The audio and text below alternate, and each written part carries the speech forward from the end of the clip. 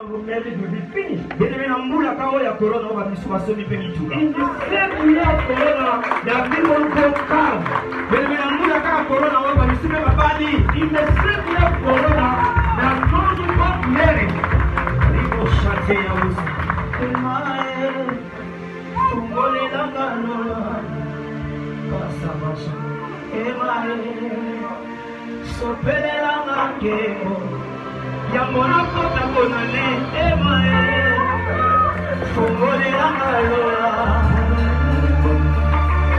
ema sopelelanga yebo yango tosilisa lesalo ema fungolelanga lola nakosilisa mongo ese ema eh, sopelelanga yebo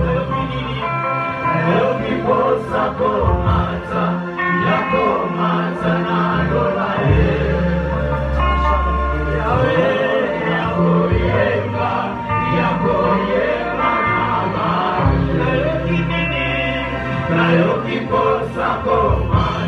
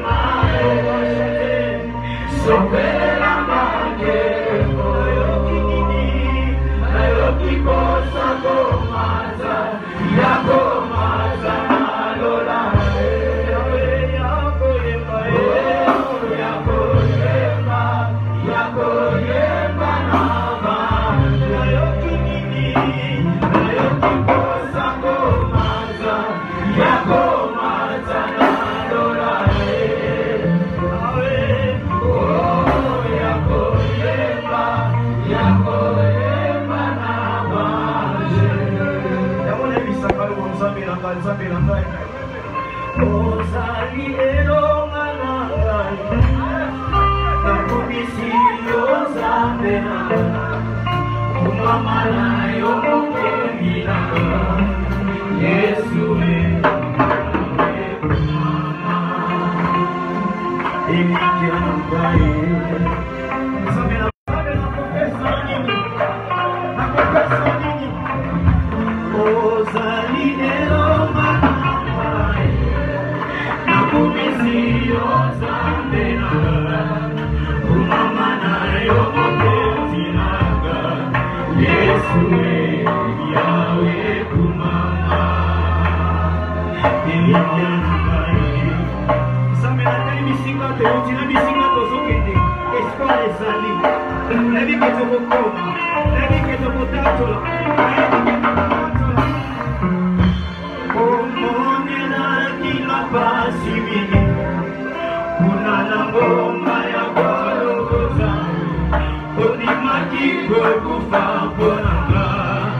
Yesu, Yesu, Yesu, Yesu,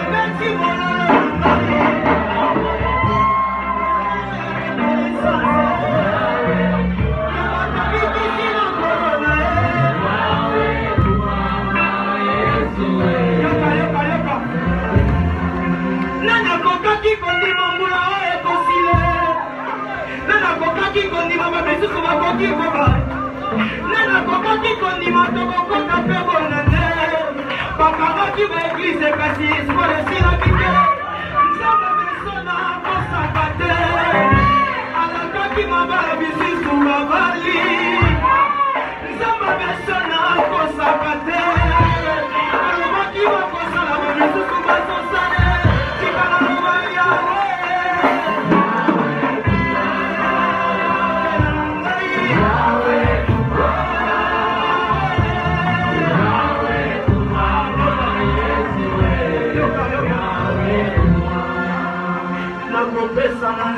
ya nini soki nateli vi na mboka ya bapaya ngunda kundi ezobikisa ngai lisolo nini nakobetela yo nsambalole bale nakoti litayayae maya naleki mamana nine nayoka sambali wokasi ya 2020 oyo ezolekelanga na seba ningo tokuti bamoza ningo tokuti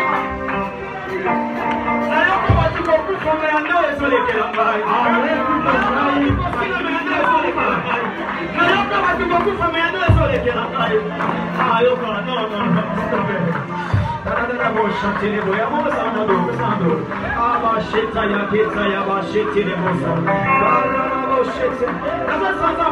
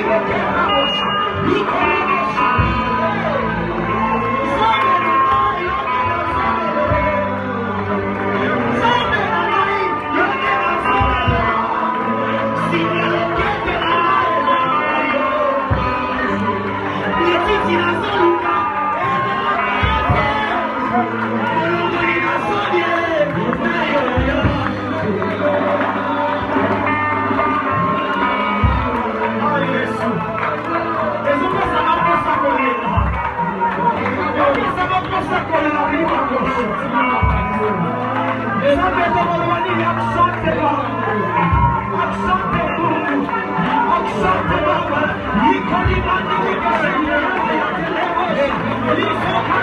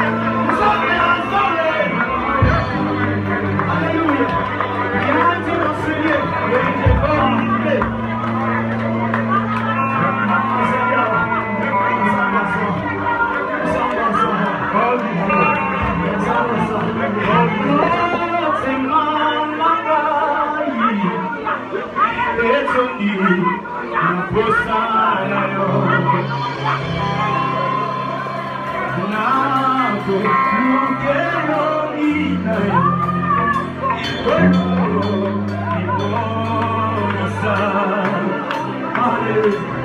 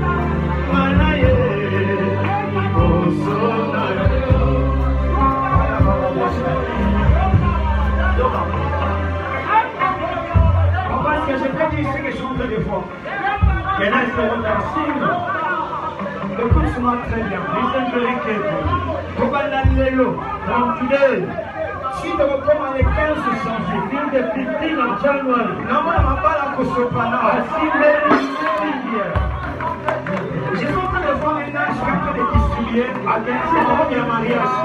It is the whole of marriage. Listen to that. Je suis en train de voir un ange asopesa baroba mabala. I can see the angel giving to people the whole of the wedding. I asked God, what is it like the covenant he said? Kobanda lelo ti les termes ont changé. Kobanda biro na ye koyamba bakasele boya. Receive people, papa, in your office. See your people with power. yoka lise lisapole falaka nzoto liprophesie mantikam prêche lokola alakisi bolisapole mo falaka nzoto yuyubiliimango yaekalupilini somanamasembo sisalamiiti shalana kushi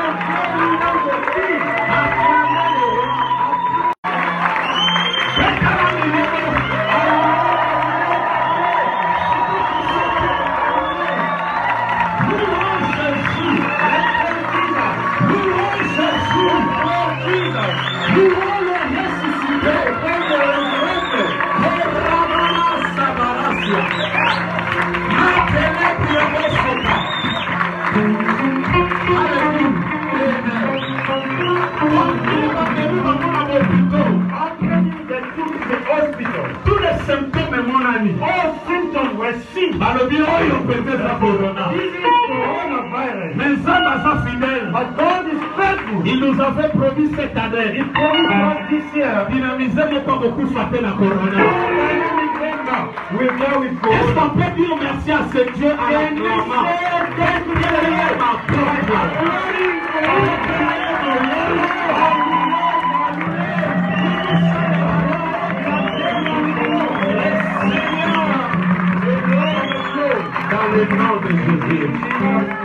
Amen, amen. Amen. Mettez-vous pendant du midi 5 à 10 minutes. From 5 to 10 minutes. Car vous allez dire, vous n'avez absolument rien préparé pour vous. I didn't, prepare anything as a preaching.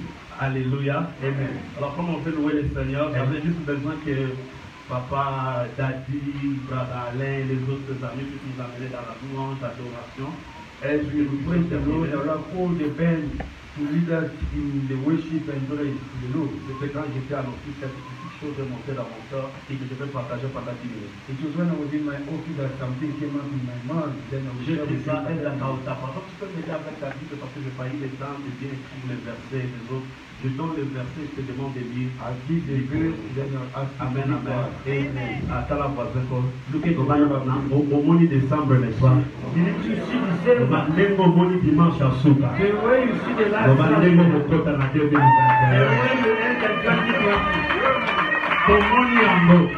osilisi yango epi tozokende na 2021 comme le diable a échoué de te tuer il va aussi échouer de te bloquer alinanisa moko aza lesengo lisusu mabe te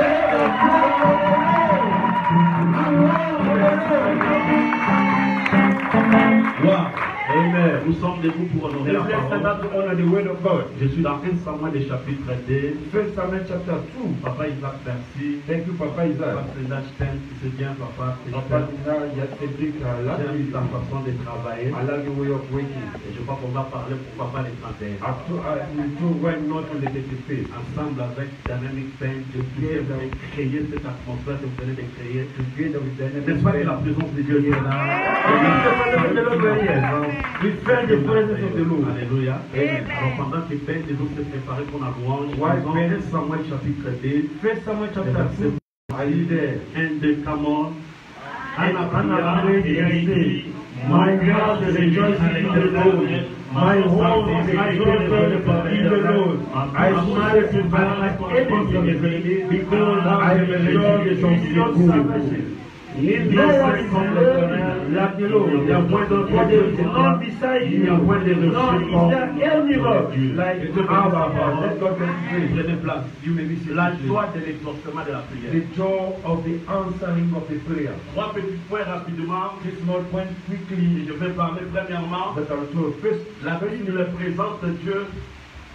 La Bible présente Dieu, le Dieu de la Bible, comme un Dieu qui aime la prière. The Bible introduces the God of the Bible like a God who loves prayer. Pas seulement il aime la prière, not only loves prayer, mais il est committed à exaucer la prière. But he's also committed to answer or to de the prayer. la Bible, Every time that you read the Bible, de Genèse à from Genesis to Revelation, la nous présente Jésus, le Seigneur, le Créateur. The présente to us Jesus, the Lord, the Creator, comme quelqu'un qui aime la prière, de loving prayer, il n'aime pas seulement la prière, not only loving prayer, il aime exorcer la hein. prière. He also love to answer the prayer. Jérémie 33 verset 3, la Bible dit, invoque moi je ferai quoi? Jérémie a été écrit, je t'exaucerai. Alors tu connecté, invoque-moi, je ferai quoi Invoque me, I will answer you. Et je ferai encore quoi I will do again what I will show you the hidden thing. Il te demande de l'invoquer. He you to invoke him. Il te demande de le chercher sa femme. He ask you to look for his face. Et il te dit si tu le fais. And he asks you if you do it. Moi je vais t'exaucer. I will answer you. Dieu est commis à l'exorcisme. God is committed to answer Deuxième chose, point important. La Bible est remplie des exemples de des hommes et des femmes qui ont prié et Dieu a changé leur vie par les exorcements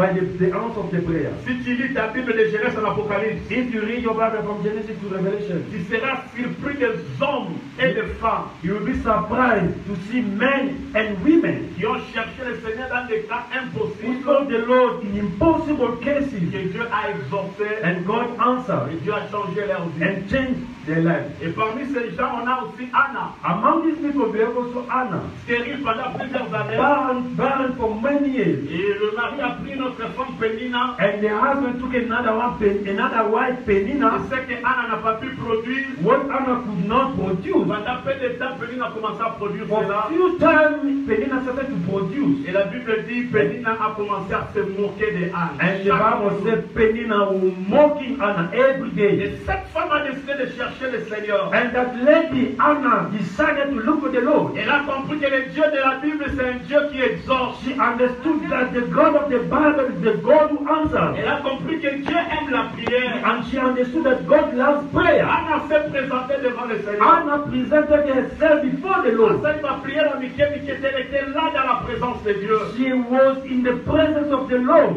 Quand tout le monde quittait Shiloh, elle a dit, je reste et je ne vais pas quitter jusqu'à ce que l'Éternel me So when everybody were leaving Shiloh, she remained there. She said, Attentif et notre answer my prayer. Et la Bible dit, son prophète, le sacrificateur, a trouvé Anna en train de chercher le Seigneur, de pleurer et de juste tourner sa langue sans rien parler. And the Bible said the, the, the high priest, Eli came from, Anna praying just murmuring mais Anna, pourquoi tu es ivre? Et si il sait, Anna, why are you drunk? Adopi sacrificateur naza ivre, Dieu c'est mon cœur. High priest, I'm not Mon cœur a des promesses. Et pas mon cœur devant les I pour my heart before the Lord. Et la Bible dit, and the Bible says, le sacrificateur rejoint Anna dans sa prière. The, the priest joined Anna in her prayer. And il dit, va en prière Il said, go in peace. Et le Seigneur va te visiter. And the Lord will visit you. Et 1 Samuel 1, verset 20. 1 Samuel 1 verse 20. La Bible nous dit ce qui s'est passé. The Bible told us what happened. 1 Samuel 1 verset 20. La Bible dit ceci. The Bible says in verse 12 somewhere. Dans le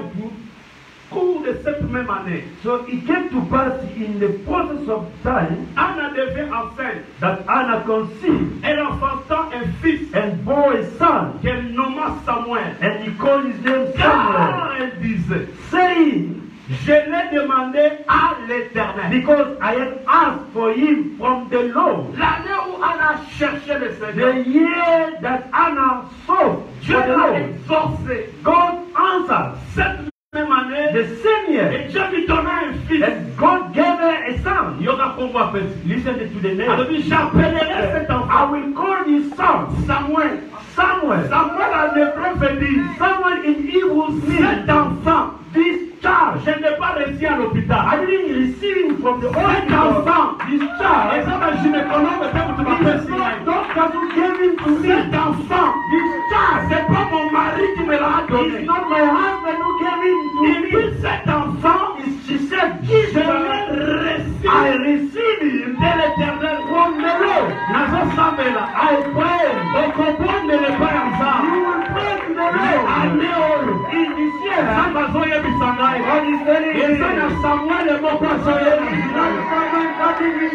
okotanga ngo yuluneki naza kourage atanda aza kourage mpo aza na bandeko oyo oyo bandeko na nga te eza tanga na nga te eza makasi na nga te me oyo eza samuel j'ai reçu de l'éternel nayeko te bato nyonso teayaka koteya motu mokooyo panda ntan ya kolona mosala esilaki ayebaki koma kofuta ndako ayebaki koma kolia abandolala bakliyen bazoya te Mais jamais dans mon ignorance. God, because of his love, from everything now, a foutu loyer, you and here a péri, you eat, you live, and and to know, so finish a death in faith. You are finishing, you are if you do not tell him, I know, the person is dead already.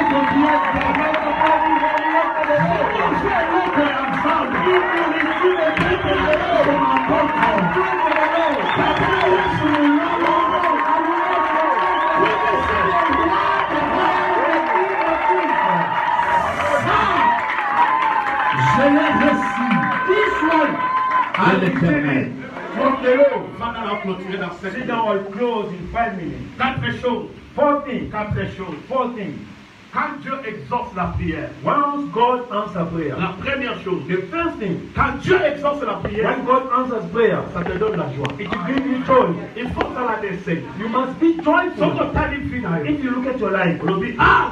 ah God. Ọ̀rọ̀ bẹ́ẹ̀ ni ọkùnfẹ̀rẹ̀ kòrónà. I say I will never die die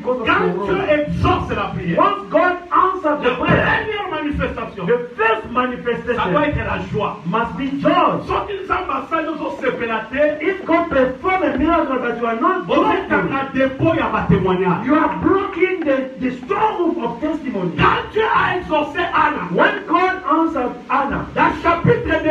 Chapter 2. Elle a commencé à se réjouir.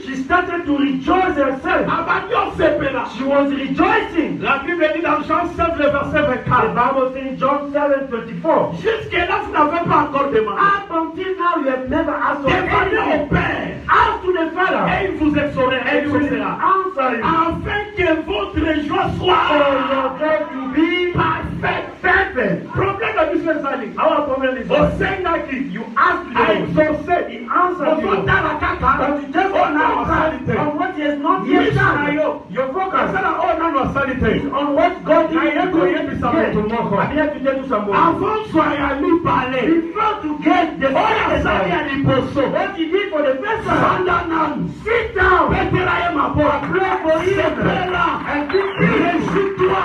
Rejoice. Quand tu te réjouis. to tu rejoices. Il y to un peu d'aller au sanitary. Et c'est maintenant il doit rejoindre. T'as Look at your neighbor. But when you the bro. you see this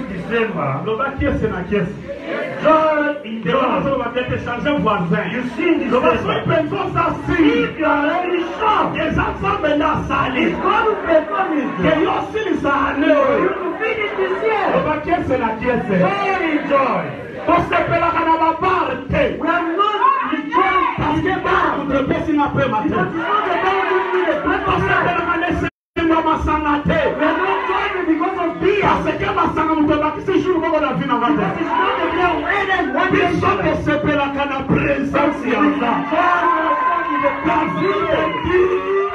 Je suis dans la joie. Ah, Lorsqu'on me dit, est-ce que vous trouvez pas ça de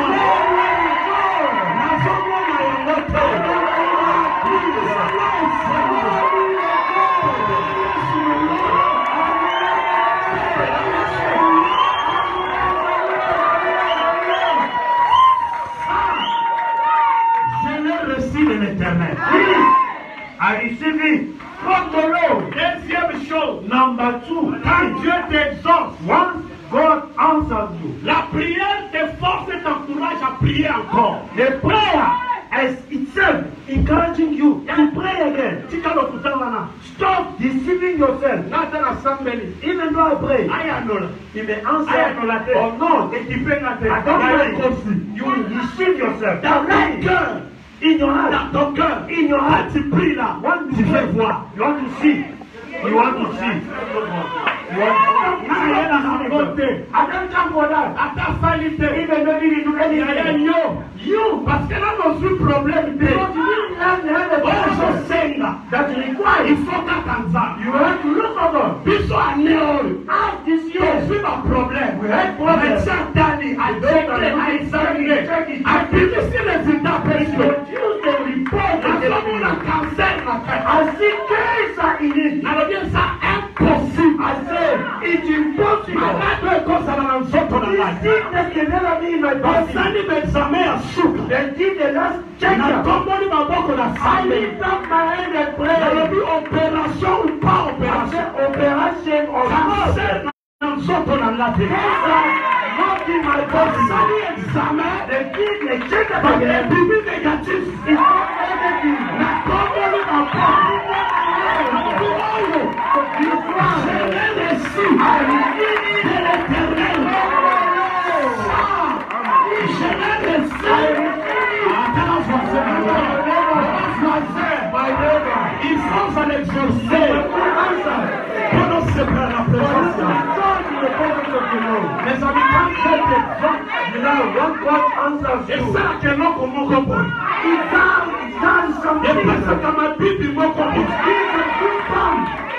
What is some of the kind of problem? Tomorrow, if you meet a problem, Okotana oh, Goliath, you look at Goliath. Olodi oh, Goliath, you say, You Goliath, même Dieu, the same God, qui m'a délivré hier, qui m'a délivré hier, il est meilleur. the loose, as lion the day, il est capable, is more than ever, son sein de votre answer me before you, okomomangate, you never give me, exaucement en prière, the answering of prayer, fais son courage, we need your courage, osambela lisusu, keep on praying, soki asala, if you perform, akosala lisusu, he will do the same, so bad of vaccine, not fearing the best thing, soki ba echoué, praise. And we understand the effectiveness. Parce que tu sembles la people of Corona. Because we pray against Corona. We do some églises. They shut down churches. Mais maman sabe que dans Kangiwe la terre. But they provided. They didn't shut down. Now on Facebook. In the Facebook. Now on WhatsApp. On WhatsApp. La Bible dit. The Bible says. If my purpose is my people. Si Dieu est en my hand is in fire.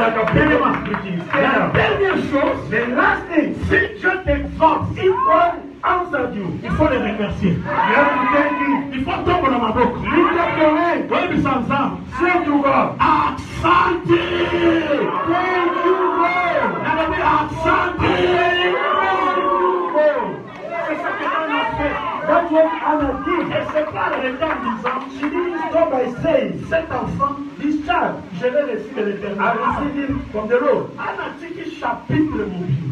She left, she left behind the entire chapter.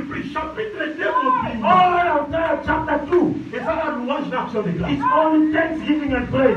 Oh Seigneur. Oh Lord. La Seigneur qui I asked mon prince à qui get to me. Oh mon âme est lourde. Oh my Lord, my soul praise mon âme est lourde. My soul praise the Lord. Entre l'exaucement de la prière. Between the answering to the prayer.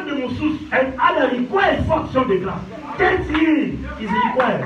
Donc la that once je thank the Lord. Nasuka ya chapitre. At the end of the chapter. Bible ni la chapitre the Bible c'est chapter 2. Samba pesie sent bana ya mibali na place ya Samuel au anapesa kepa ya nani?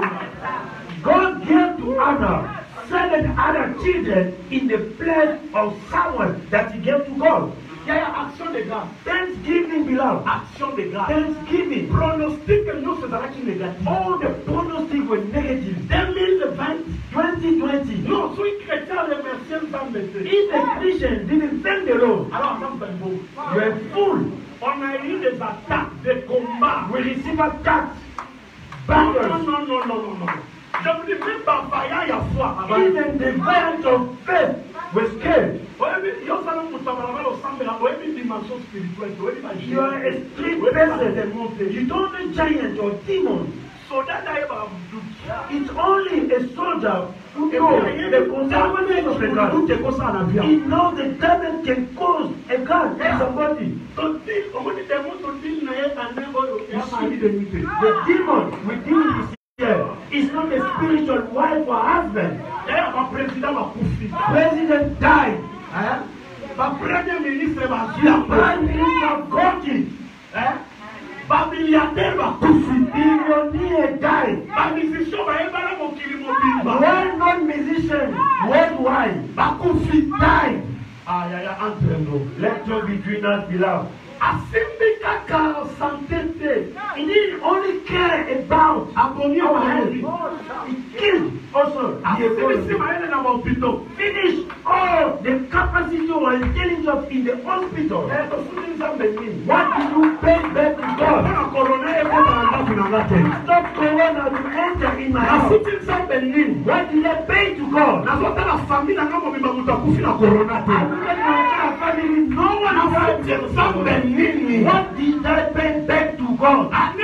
I'm a person of say I don't care. I just something you that that I don't care. But I can I hold it back. Because I've seen people respiratoires in the great nation. But so food among the mountain. They are looking for one thing. Bapema. Bring Bapema. Bring. Now so some way I go go. Now all of them are going to pay. Now all of them are going to pay. lobala nyonso nzambe asala okopesa ye nini dépendre. Money is your lead. Attention, ma micro, mais vous n'avez pas. You buy microphone. La seule chose, the only thing. Oyo ko salela misa. That you can do for God. Sama bi salela kate. That God can never do for himself. Eza ko se remercier. Is to make it. Sama ko sala nyonso. God can do everything. Sauf except avana. You see now. Alors, c'est comme c'est bon. God, thank you. C'est la seule chose. It's the only thing. Oh, your father. That you do. That God can never do it. Natomboya lelo. In this morning. Yanaba nespa kimi. Nine persons ran away. Masongi te. Among the ten, Jesus didn't. The singer, when he needed them, was waiting for them. waiting for them. It was ready. Avancez Stop there. Waiting for what? Not for not for la terre est la terre. Le ciel est la terre. Le rêve le crime. You're waiting for only one person. Encore un zombie. That one person came there. Yeah. Yeah. On a dansé. You are from Maryland. Ah. et tu m'as rendu. dit Seigneur, c'est l'eau. Merci. Thank you, Lord. Tu m'as guéri. You healed me. You got the boss. Listen to the answer. Where are the nine? I don't want to be among these nine people. God, do not count me among the nine level people who are in. Jamais. Never. If you are not among the nine, then look if you are not among the nine. If, if you show your position, nous, sommes, How you are so nous sommes sérieux avec notre éducation. We Vous You